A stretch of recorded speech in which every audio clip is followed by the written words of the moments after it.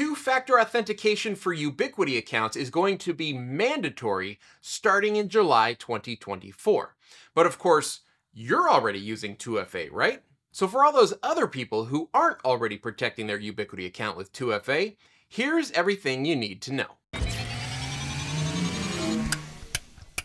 Starting on July 22, 2024, two-factor authentication will be mandatory for all Ubiquiti accounts. And if you haven't already enabled 2FA by that date, Ubiquiti is going to default your account to email-based two-factor authentication.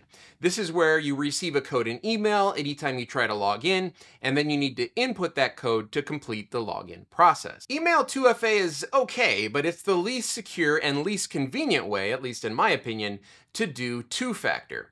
Your other options are TOTP, which stands for Time-Based One-Time Passcode, or UI Verify. Let's talk about each of these options. TOTP means you'll have an app on your phone or desktop that generates a rotating six-digit code every 30 seconds. Common TOTP applications include Google Authenticator, Microsoft Authenticator, or Authy.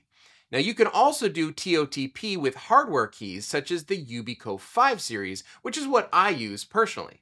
Next we have UI Verify, which can also be used for TOTP to secure your accounts. But for UniFi account logins, it's actually even easier. When you choose UI Verify for two-factor authentication, the UI Verify app on your phone pops up a login notification asking if you're trying to log in. Simply say, yes, it's me, and then you're logged into your UniFi account. Your Ubiquiti account protected with 2FA works across all UniFi applications, including UniFi Network, Protect, Access, Talk, and Connect.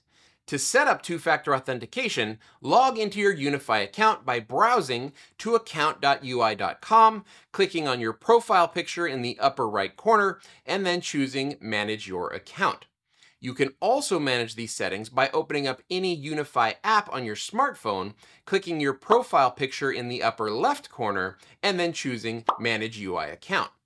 Click on Security, and you may have to enter your password to unlock the security settings. But once you're unlocked, you should see multi-factor authentication right at the top of the security page. Click on Add New Method and then pick one of the available options and it's going to walk you through the setup process. Once you're finished, your UI account will now be secured by two-factor authentication. And hopefully in the future, Ubiquiti is going to enable some additional two-factor options such as FIDO2 or passkeys. Okay, I hope you're all ready for this welcome change, and if you'd like to keep this party going, I have hand-selected two videos on the right here for you to watch next.